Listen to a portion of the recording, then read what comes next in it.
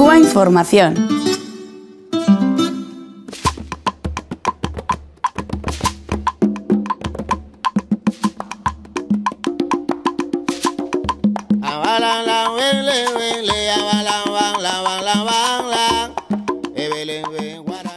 Hemos denominado la presentación Propuesta de Estrategia para redimensionar la labor de solidaridad internacional con Cuba. Y les decía que estamos ante un escenario donde han retornado eh, a nuestra patria los cinco héroes. Eh, los cinco héroes fue la campaña, el eje principal de esta etapa reciente eh, que hemos culminado para la consolidación e integración de los 2.039 organizaciones de solidaridad con Cuba que están presentes en este momento en 152 países, de los cuales emergieron una cifra mayor de 300 comités eh, de solidaridad específicamente eh, por esta causa. Y compañeros, nosotros tenemos realmente que eh, estamos obligados a, a felicitarnos en este momento, a agradecer todo el esfuerzo que se hizo por parte de todas las organizaciones de solidaridad, por parte de los comités específicamente, por parte de los partidos políticos, de las organizaciones amigas en todos los sentidos, de esta gran campaña que se hizo para hacer volver a nuestra patria, a nuestros compañeros, uno de los cuales eh, nos está representando hoy aquí, que es el compañero Fernando González, que para honor de nuestro instituto fue designado como vicepresidente de nuestra institución y que hoy nos hace el honor de estar presente con nosotros y que después se va a dirigir eh, a ustedes.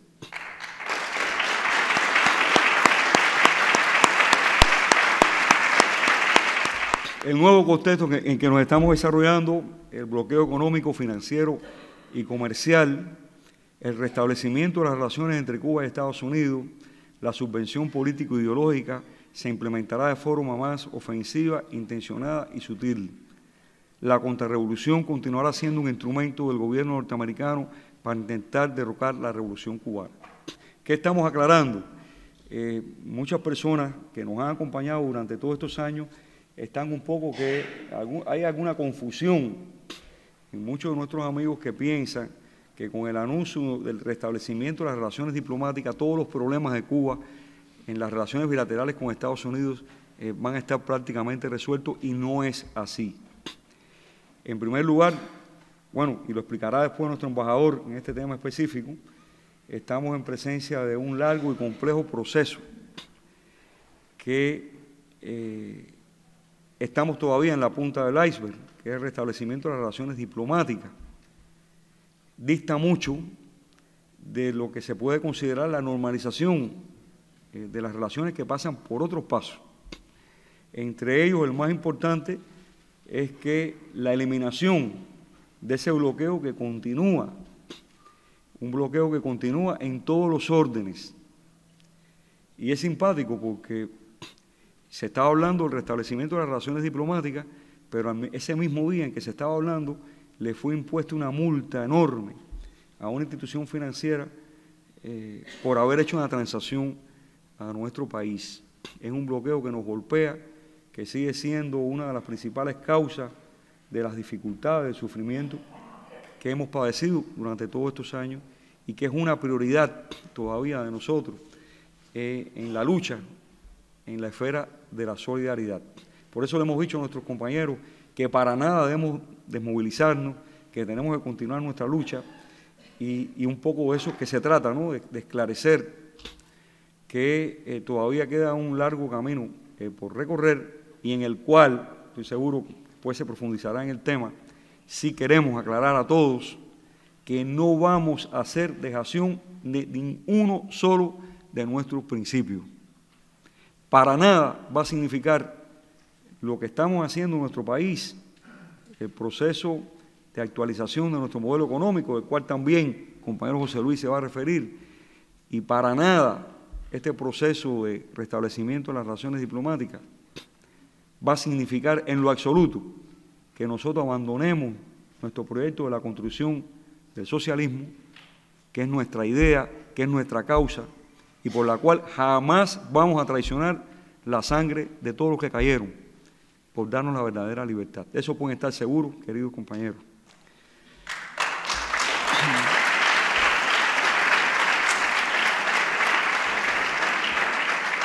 Estamos ante nuevos métodos, ante nuevos métodos de lucha. Ya ustedes saben que con el cambio, con la administración Obama, del cual, bueno, hay que reconocer el mérito de Obama en pasos valientes que ha dado. Sin embargo, para nada nos podemos engañar. La lucha continúa. El discurso ahora es un discurso más edulcorado.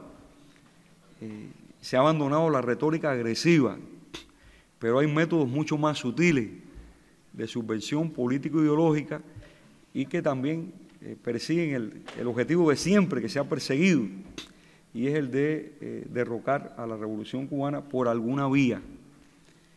Y en eso, por supuesto, que, que vamos a estar preparados. En la región de América Latina y el Caribe, las recientes acciones del Ejecutivo estadounidense contra la República Bolivariana de Venezuela los intentos por desestabilizar a los gobiernos progresistas son muestras de la ofensiva de la Casa Blanca para impedir que se consolide la integración.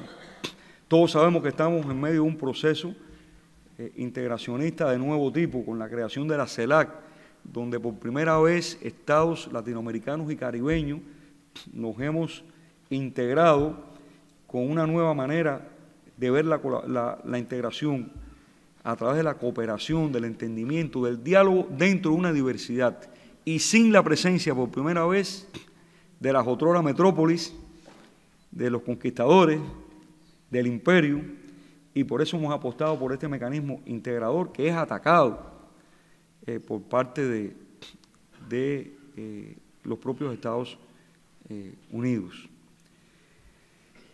Y nosotros siempre hemos dicho a nuestros amigos que cuando se hace solidaridad con Venezuela, con El Salvador, con Ecuador, con Bolivia, con Nicaragua, se está haciendo solidaridad también con Cuba. Cuba siempre estará al lado de esos procesos eh, revolucionarios de América Latina y sobre todo que quede muy claro para el gobierno de los Estados Unidos, jamás vamos a abandonar a Venezuela y nos oponemos de manera directa a toda esa campaña que se está desarrollando que es lamentable, que tiene muchos acólitos, incluso allende el océano, con provocaciones, con una falta de moral tremenda que van a exigir a nuestros pueblos, dando un pésimo ejemplo. Porque siempre hemos dicho que en Europa hay gente que, que para nosotros como los viejos borrachos, quieren dar muy buenos consejos dando muy malos ejemplos. Y se toman esa libertad de ir allí a criticar, a condenar, al a crear problemas a la revolución eh, bolivariana, eh, venezolana, bolivariana, a ingerir en los asuntos internos, a dar lecciones cuando lo primero que tienen que hacer es dar lecciones en su casa.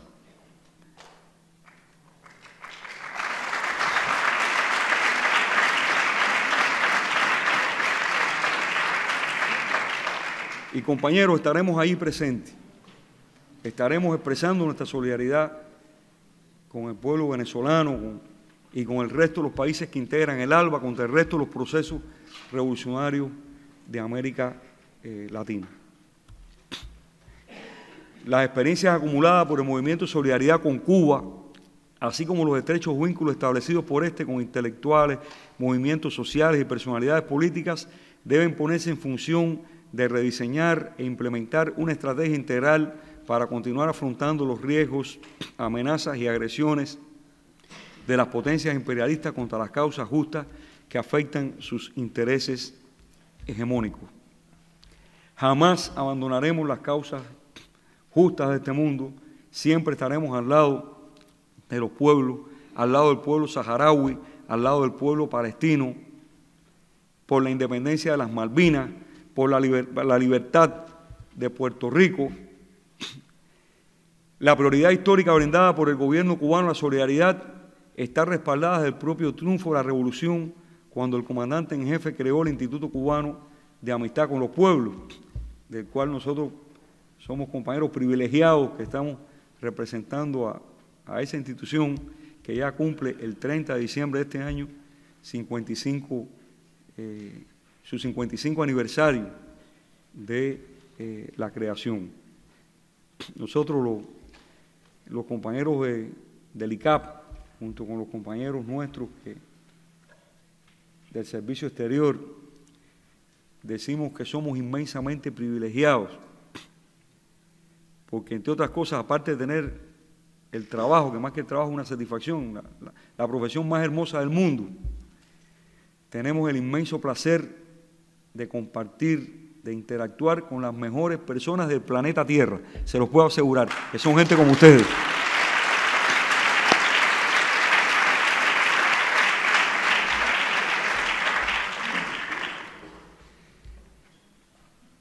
Las experiencias, bueno, organizaciones políticas, sociales y de masas cubanas, el Partido Comunista de Cuba, la Unión de Jóvenes Comunistas, la Federación Estudiantil Universitaria, la Federación de Estudiantes de la Enseñanza Media, la Central de Trabajadores de Cuba, la Federación de Mujeres Cubanas, los Comités de Defensa de la Revolución, la Asociación Nacional de Agricultores Pequeños, la ANAP, la Asociación Cubana de Combatientes de la Revolución Cubana y otras asociaciones de la sociedad civil están en función también de la solidaridad internacional.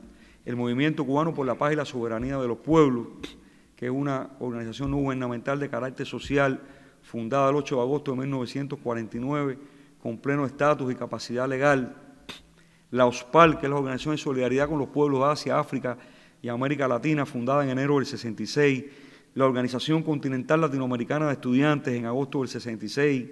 La Red en Defensa de la Humanidad, que se fundó en el año 2003.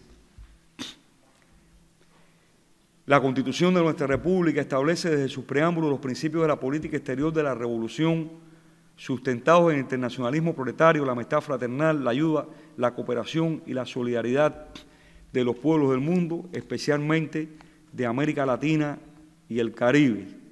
En su artículo número 12 dispone que la República de Cuba hace suyo los principios antiimperialistas e internacionalistas, ratifica su aspiración de paz digna, verdadera y válida para las naciones y el derecho de la autodeterminación, funda la cooperación internacional en beneficio e interés mutuo y equitativo compañeros. Eh, nosotros, y de manera, no queremos que, se vea como una falsa modestia, mientras otros exportan guerras, armas, calamidades a los pueblos, nosotros tratamos de seguir llevando educación, salud pública, cultura. 65 mil cooperantes se encuentran en este momento laborando en 89 países, en las selvas, en los montes, donde a veces especialistas nativos no quieren ir, ahí están eh, nuestros médicos, nuestros maestros, nuestros instructores de arte. Se han graduado en nuestro país en los últimos años 68 mil profesionales y técnicos, y de ellos 30 mil específicamente eh, en la salud pública, de 157 países. Y eso no lo vemos como nada extraordinario, sino lo vemos como siempre, como el, ese deber internacionalista que nos inculcó el Che Guevara, que nos inculcó Fidel y que nos sigue inculcando el compañero Raúl como un deber nuestro con los pueblos.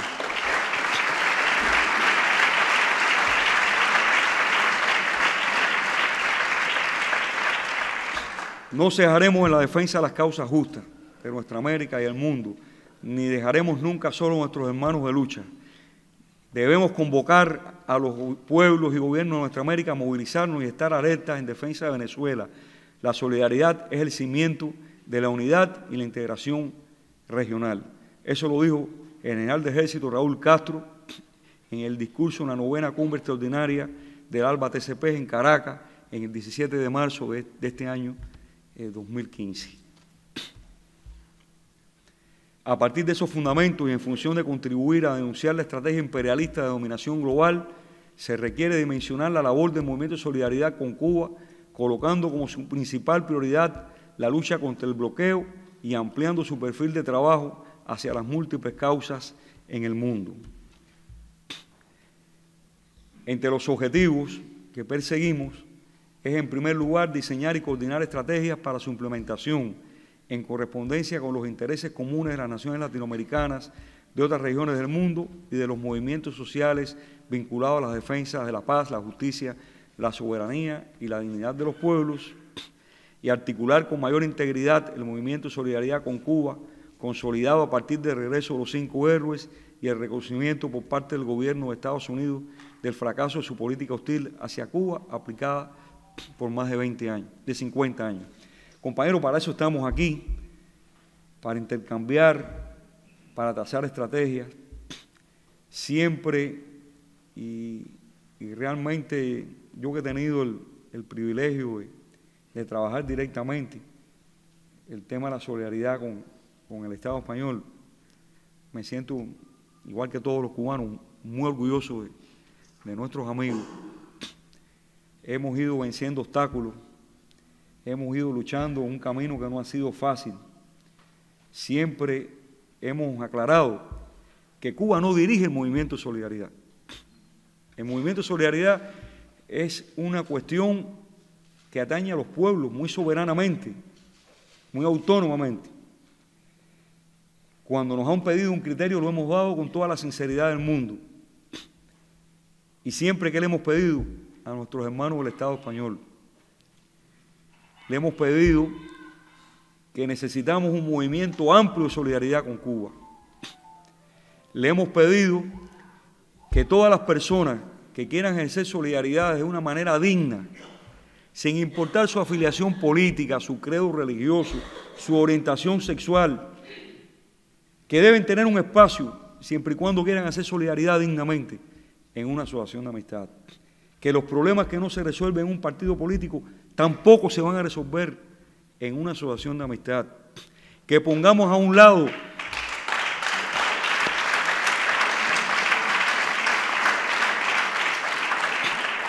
que pongamos a un lado esos detalles, esas pequeñas diferencias que tienden a separarnos y que trabajemos por el objetivo común, que nos olvidemos de esas pequeñeces, a veces esos protagonismos, esos ataques que no tienen sentido y que es la enfermedad que acoge muchas veces al movimiento de izquierda a escala mundial que nos afecta tanto. Y no quisiera que nos malinterpretara, nosotros no somos maestros, ni estamos para darle lecciones a nadie, pero lo que sí le podemos asegurar que el factor que nos ha garantizado la victoria de la Revolución Cubana ha sido el factor de la unidad. Y no quiere decir que todos pensemos igual, pero ha habido fidelidad, y fidelidad no se, no se puede traducir en sumisión, usted puede tener su criterio y expresarlo. De hecho, en Cuba discutimos muchísimo. Tenemos un solo partido, pero un partido muy plural, donde hay diversidad de criterios, donde puede haber opiniones, donde hay crítica. Pero a la hora de, tomar el fusil o a la hora de manifestarnos por los principios, ponemos a un lado todas esas diferencias y todos levantamos la mano y hacemos lo que decide la mayoría. Y eso es lo que le pedimos siempre a nuestros compañeros porque nos invade una tristeza enorme a veces cuando vemos compañeros atacándose y todos tenemos los mismos principios, estamos luchando por lo mismo. Y solo le pedimos eso.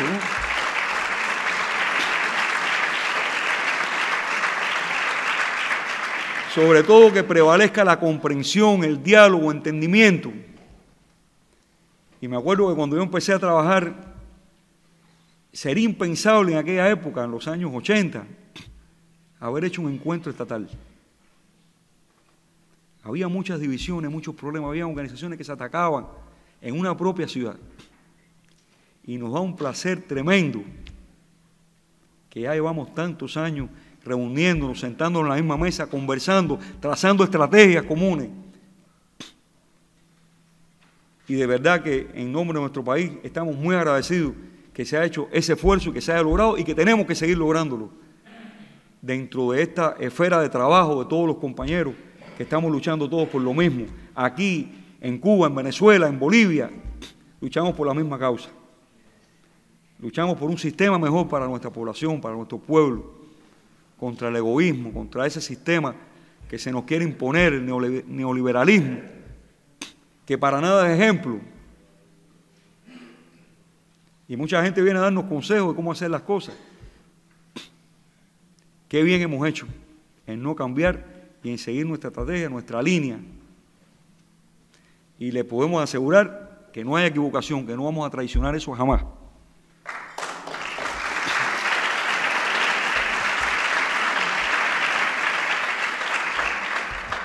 Bueno, aquí están las propuestas de las áreas clave, el levantamiento del bloqueo, la defensa de las conquistas de la revolución, la denuncia de los planes subversivos, el cese de la ocupación ilegal de la base de, Guantánamo, la defensa de América Latina como una zona de paz, la fidelidad a los procesos revolucionarios, las acciones de denuncia, de las acciones desestabilizadoras, el cese definitivo de la ocupación de las Malvinas, la independencia de Puerto Rico y la liberación de Oscar López Rivera, el preso puertorriqueño que más años lleva en las cárceles de Estados Unidos, que compartió prisión con Fernando, compartió prisión con Fernando y que estamos también obligados ahora a hacer una campaña para liberar a este compañero. El apoyo al gobierno de Ecuador en su demanda a la compañía estadounidense Chevron, respaldando el fallo del Tribunal de la Haya a favor de la demanda de esa nación que se niega a cumplir. A nivel global, la lucha contra el terrorismo, la defensa del, derecho de los países a decidir soberanamente su propio sistema político, el repudio a la injerencia en los asuntos internos de los estados, la causa del pueblo palestino, la oposición resuelta a la política del gobierno de Estados Unidos de incluir unilateralmente en listas a naciones cuyos gobiernos se oponen a la hegemonía imperial y fuimos víctimas de eso. ¿Cuántos años estuvimos en la lista de países patrocinadores del terrorismo? La solidaridad con el pueblo saharaui, la denuncia de los problemas medioambientales, la lucha contra la pobreza, el apoyo a la liberación de los presos políticos defensores de las causas justas, la solidaridad con los movimientos sociales que se enfrentan a las corrientes políticas de derecha y neoliberales, el apoyo a los gobiernos progresistas. Y para implementar esta estrategia, bueno, proponer un programa de trabajo corto, mediano plazo del movimiento de solidaridad para instrumentar la misma y dar cumplimiento a los acuerdos de la Cumbre de los Pueblos efectuada en Panamá, especialmente el que sugiere que cada día 17 se organicen acciones contra el bloqueo en todos los países del mundo. Apoyar desde el movimiento de solidaridad la labor de los grupos de solidaridad con Cuba en Estados Unidos, que tienen un mérito eh, grande. Incorporar a los miembros de la solidaridad en los principales eventos de carácter internacional y ahí viene un poco la, el calendario de los eventos. Ahora mismo acaba de, producirse en Bruselas la cumbre CELAC, Unión Europea, y que una cumbre alternativa a la cumbre de los pueblos. Porque muchas veces los pueblos no ven reflejados sus intereses en esas cumbres, que se convierten en letras muertas. Y los pueblos organizan esas cumbres paralelas, esas contracumbres. Y aquí compañeros que acaban de regresar de, Bruselas, estaba, estuvo Araceli, estuvo Lázaro, y nos contaron que ahí estuvo presente la voz de los pueblos reclamando justicia, exigiéndole a sus gobiernos objetividad en las relaciones con eh, América eh, Latina. Bueno, seguimos priorizando el movimiento de brigadas internacionales. Muchos de los aquí presentes eh, han estado integrando brigadas europeas de solidaridad con nuestro país en nuestro campamento. Los proyectos del desafío, que son los compañeros en Estados Unidos que viajan desafiando la ley norteamericana en la integración de la brigada Venceremos, la brigada puertorriqueña Juan Ruiz Rivera y la caravana de amistad Estados Unidos-Cuba, Pastores eh, por la Paz. Aquí está la lista de, de, los eventos, que no voy a demorarlos, de todas maneras esta información eh, va a estar eh, a disposición de ustedes. Eh, seguir coordinando las acciones entre cubanos radicados en el exterior, organizaciones de cubanos y el movimiento de solidaridad. Aquí tenemos algunos representantes de organizaciones de cubanos en, el exterior eh, que están aquí. Por aquí están del compañero de Extremadura, eh, Cataluña, con Anita y otros cubanos que están incorporados a ese movimiento. Coordinar los espacios de debates de los grupos de solidaridad con Cuba en, las casas de la amistad, instituciones, asociaciones y organizaciones no gubernamentales vinculadas a este tema, promover entre los grupos de parlamentarios solidarios con Cuba la instrumentación de acciones en respaldo a la estrategia trazada por el movimiento de solidaridad, diseñar e implementar una estrategia comunicacional acorde a las prioridades establecidas, potenciar la labor de Cominformación TV y otras experiencias mediáticas similares Compañero, la lucha es brutal en el tema de, de la información. Tenemos que avanzar mucho. Estamos en una lucha muy desigual. El monopolio de la mentira está en su máximo esplendor. Jamás en la historia de la humanidad ha habido tanta complicidad entre los medios de comunicación y el gran capital. Están al lado los explotadores, con la fabricación de las mentiras, con la tergiversación, con la desinformación. Es impresionante. Es impresionante. Yo recordaba, eh, ayer recordábamos, y los compañeros de Madrid que están aquí, eh, los compañeros de la coordinadora, la Bartolomé, y otros compañeros que llegaron, hace unos años estábamos haciendo una manifestación que atravesó desde la Puerta del Sol hasta el Museo Reina Sofía. Paramos el tráfico con pancarta, con carteles, con megáfonos, miles de personas. Paralizamos parte de Madrid. Se hizo un acto muy emotivo allí, masivo, y no salió ni una palabrita en ningún medio de prensa. Ahora, sin embargo, el otro día dos gusanos, dos gusanos hicieron una conferencia de prensa y estaba ahí en el país, en el mundo, en esos periódicos tan democráticos que se editan aquí en España. Es una lucha desigual, pero por eso tenemos que seguir utilizando todos los medios que tenemos en nuestro alcance, los boletines, las publicaciones, por muy modestas que parezcan, de las organizaciones de solidaridad que se hacen con tremendo esfuerzo, la presencia en los medios sociales de comunicación, que son vías alternativas para que llegue la verdad cada vez eh, a más personas. Y esa es la lucha que, que tenemos en, en este momento. Yo siempre recuerdo una fórmula que aplican los propios capitalistas que dice que acción más divulgación es igual a repercusión. Y es verdad que si hacemos actividades importantes y no logramos difundirlas, las estamos perdiendo, porque no llegan. O sea, se queda entre nosotros, que somos los convencidos. Tenemos que lograr trascender las fronteras y que llegue a la población tan desinformada, tan manipulada por esos grandes medios de, prensa que no tienen vergüenza Recuerdo compañero Ricardo Alarcón una vez en conferencia de prensa donde estuvimos en el Centro Prensa Internacional en Cuba, donde están representadas todas las principales agencias del mundo, incluida la agencia F. Y exponíamos la situación de los cinco. Y Alarcón le decía, tengan un poco de vergüenza y publiquen algo. Silencio absoluto. Y es que sabemos el poder de los medios y del lado de quienes están. Y por eso tenemos que seguir luchando con lo que tenemos en la mano. Decimos que este es el tiempo que nos ha tocado y tenemos que morir con las botas puestas, no podemos derrotarnos.